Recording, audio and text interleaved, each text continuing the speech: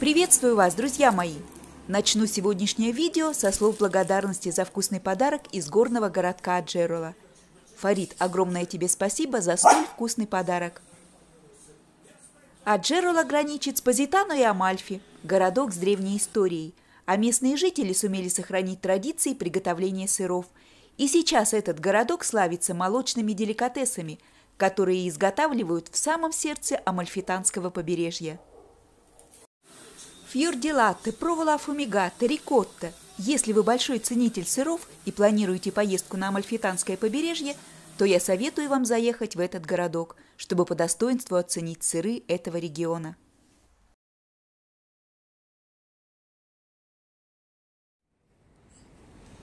Сегодня я приглашаю вас ездить в городок Анцио. В 6.40 идет электричка с вокзала Термини до Анцио. Время в пути 1 час 10 минут. Цена путешествия в одну сторону стоит 3 евро 60. Ссылку на сайт, где можно посмотреть расписание поездов, я оставлю под видео. Также туда можно доехать и на автобусе. Они ходят с автостанции Лаурентина по маршруту Рома-Неттуно и с автостанции Ананина. Время в пути чуть больше, чем на электричке, и есть возможность попасть в пробку. На электричке все-таки надежнее. Неттуно – это конечная остановка маршрута – Городок Нетуна находится рядом с Анцио.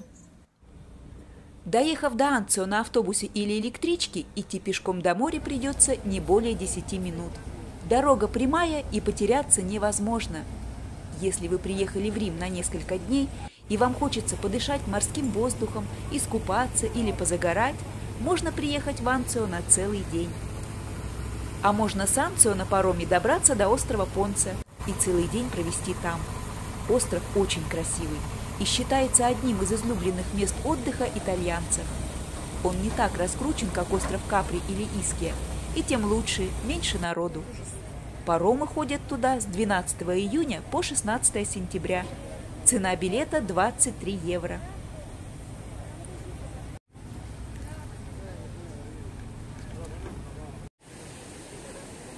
Море в Анцио чистое, но чтобы поплавать, придется отойти подальше от берега.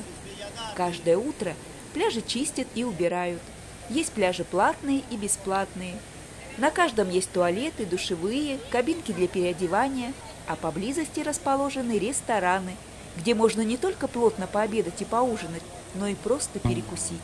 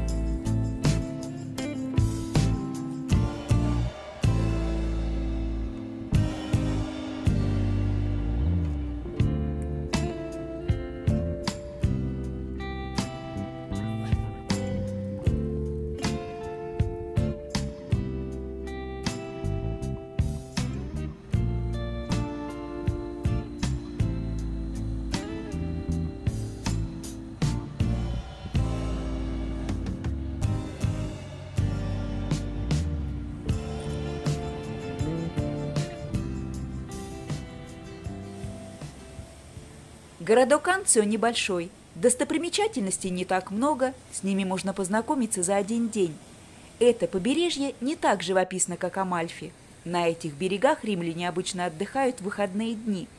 Здесь почти нет туристов, поэтому городок тихий и спокойный. Посмотрев это видео, может кому-нибудь придет идея снять здесь домик или заказать номер в отеле и чередовать отдых на море с прогулками по Риму. Вы только представьте, вечером вы возвращаетесь из шумного города к морю и ужинаете в ресторанчике с живописным видом на море. Вся береговая линия этого города усеяна ресторанчиками. По легенде, городок Анцио был основан Атеем, сыном Одиссея и колдуньей Церцеи. Еще в древние времена Анцио называли процветающим торговым центром. Гавань находилась в удобном месте и была защищена от ветров и шторма. Было время, когда морскую гавань облюбовали пираты для своих кораблей. Здесь они отдыхали между набегами. А в период Римской республики Анцио стал популярнейшим местом отдыха богатых римских патрициев. Говорят, что во времена империи Анциум, так называли этот город, соперничал с Помпеями по количеству роскошных вилл и богатых римлян. Город был законодателем блеска и роскоши. Здесь строились дворцы. На побережье возвышались дворцы с отделкой из мрамора. Это были дворцы античного философа Цицерона, который писал «Я предпочитаю Анцию Риму», Октавиана Августа, первого римского императора. Здесь родился Калигула, отличившийся в истории буйным нравом и неуравновешенной психикой, и Нерон –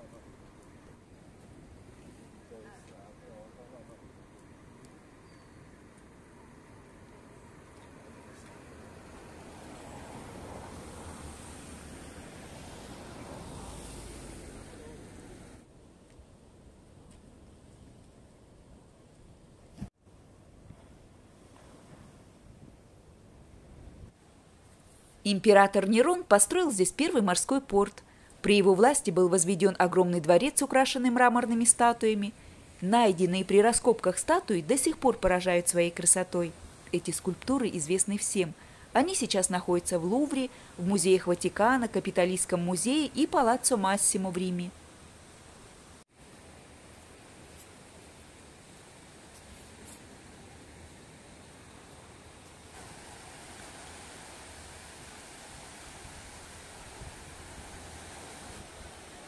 Это все, что осталось от виллы дворцов. Как всегда были взлеты и падения. После нападения на город Сарацинов, кочующего племени, город был разграблен и заброшен.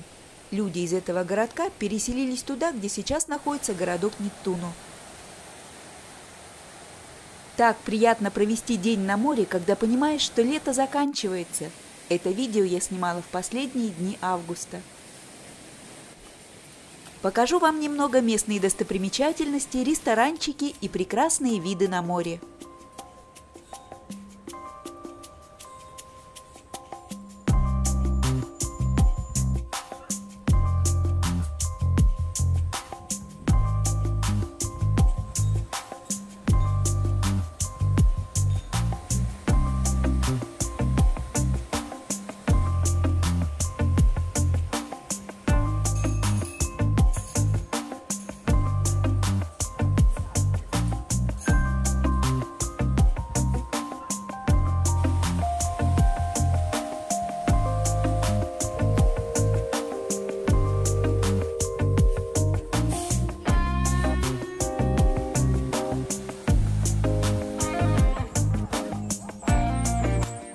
Здесь очень хорошо видны остатки от виллы Нерона.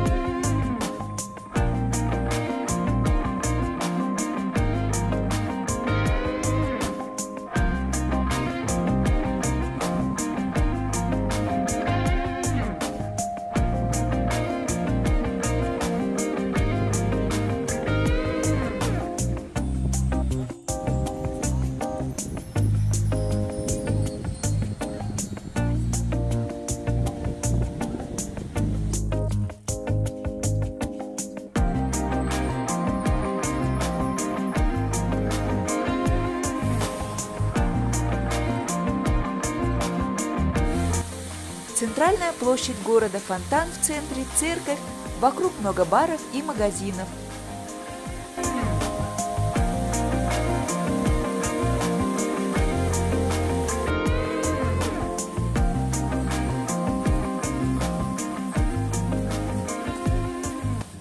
Местные жители городка утро проводят в барах, неспешно завтракают, общаются и планируют свой день.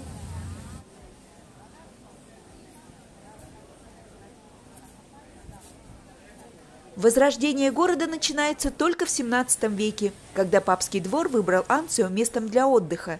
Римские папы заменили императоров и начали строительство своих вилл. Мы идем на виллу Адели, где сейчас находится музей.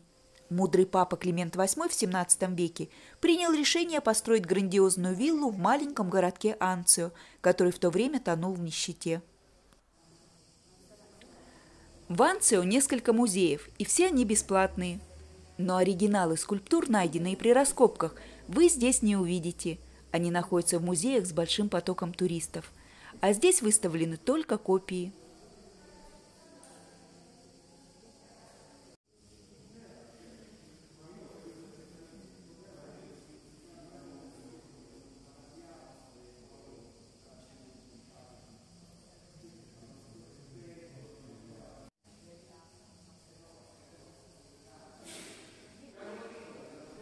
Это напольная мозаика с виллы Нерона. Она отреставрирована материалом, который нашли при раскопках рядом с мозаикой.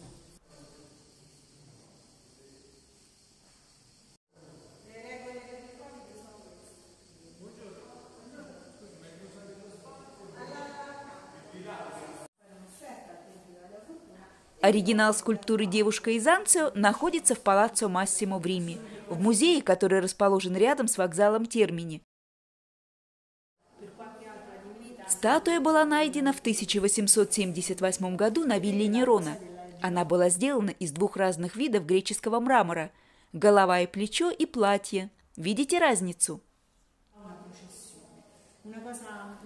Чуть приподнятая юбка, чтобы не споткнуться – в руках девушка держит поднос, на котором находится свиток и лавровая ветвь, от которой мало что осталось. Лавровая ветвь, конечно же, имеет значение, поскольку это растение было священным. Сейчас это не только музейный экспонат, это еще и визитная карточка города Анцио. Куда бы мы ни заходили, везде нас встречала копия скульптуры девушки из Анцио. А здесь нам рассказывают, что по ногам можно определить, что скульптура греческая. Второй палец длиннее первого. Это символ красоты греческой скульптуры.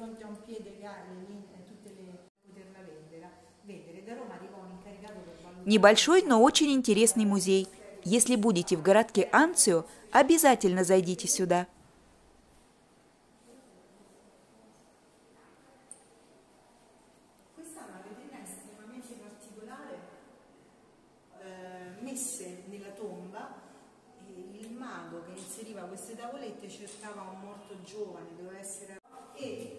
Эта замечательная мозаика тоже была найдена при раскопках. Посмотрите, как хорошо она сохранилась.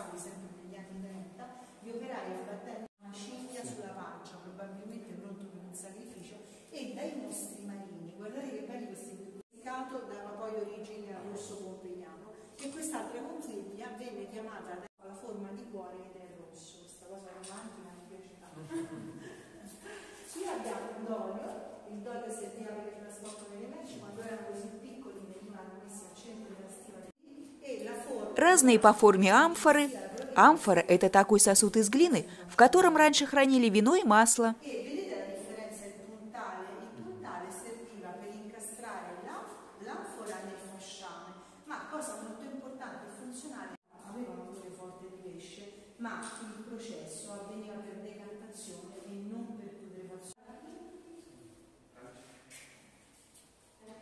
Нам показывают фреску, у которой очень хорошо сохранился цвет. Сама фреска уцелела частично, но цвет остался ярким и насыщенным.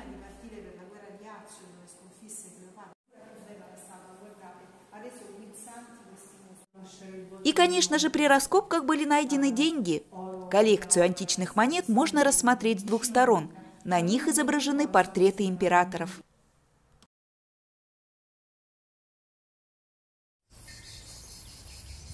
На территории виллы находится небольшой парк, где можно просто отдохнуть.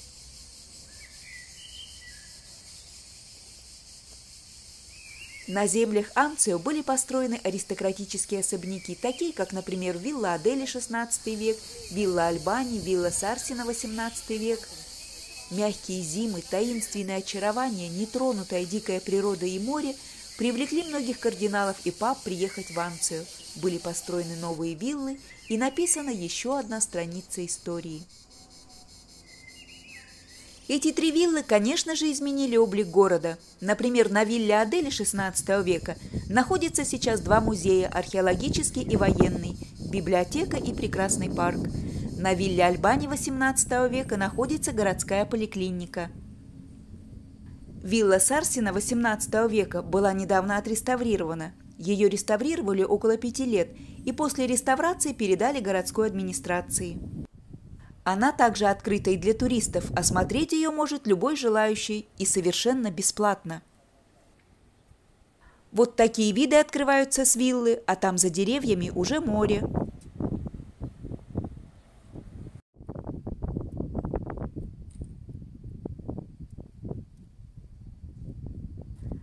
Давайте зайдем внутрь виллы и посмотрим, где проходит заседание городской администрации городка Анцио.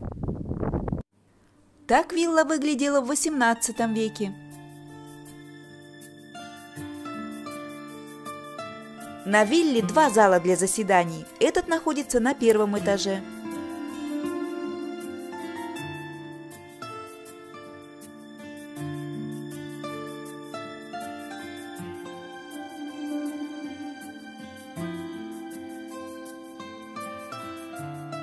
Этот зал находится на втором этаже, он намного больше первого.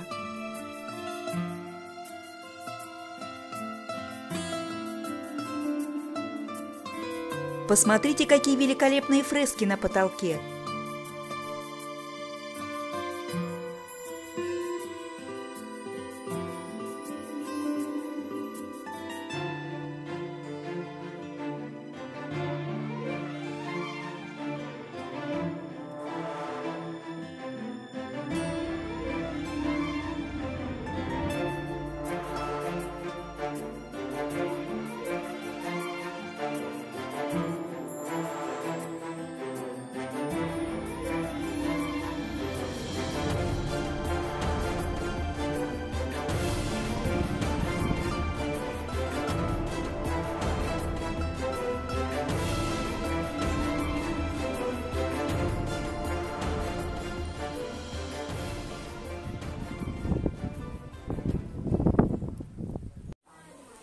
Небольшой перекус и опять в дорогу. Кальмары и креветки во фритюре.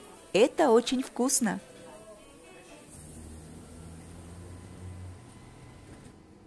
На этом наше путешествие одного дня в городок Анцио заканчивается. Городок небольшой, но очень милый. Я показала вам почти все главные достопримечательности. Но самое прекрасное здесь все-таки море и свежий воздух. Большое спасибо всем, кто поддерживает мой канал комментариями, и огромное спасибо тем, кто присылает денежные переводы на PayPal за проделанную работу и на развитие канала. Огромное вам всем спасибо.